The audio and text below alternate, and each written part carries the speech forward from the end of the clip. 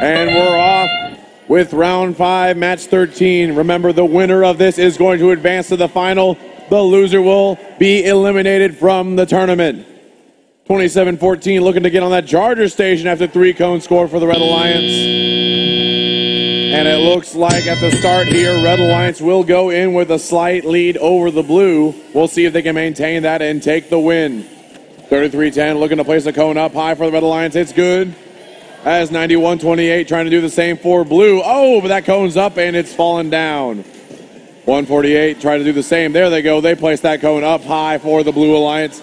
91 28 in another cone, trying to rectify that mistake. 33 10 getting another cone up high for the Red Alliance.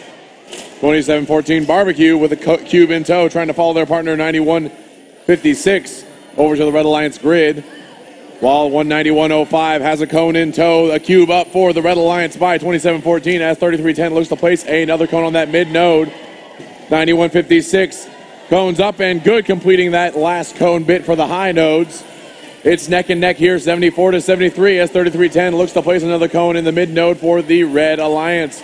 And that last cue coming up and good for 27-14 on the Red Alliance side.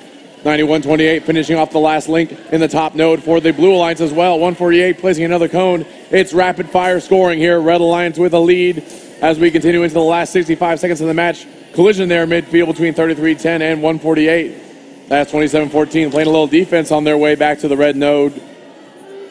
They have a cube in tow, looking to place that on the mid node for the Red Alliance. Cube is going to go out and good score for the Red Alliance. 43-10, looking to score a cone here. That cone's going to be good. The Red Alliance still with a slight lead as 91.05 looks to shore that up by placing a cube in the mid node for the blue. 91.28 doing the same. A cone in. Oh, but that one's going to fall down. 148 has a cone in tow. Looking to shore that up. As 27-14 places another cube for the Red Alliance.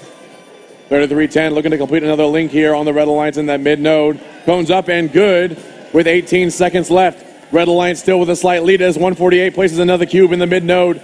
Red Alliance 33-10 shooting over to the far side of the field. Looking to place that cone and complete another link for the Red Alliance. And that's a score for 33-10 jumping onto the platform. Can they get the balance with one second left? And that's the match.